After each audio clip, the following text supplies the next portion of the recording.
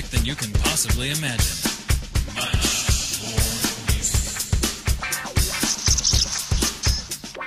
Funk FM.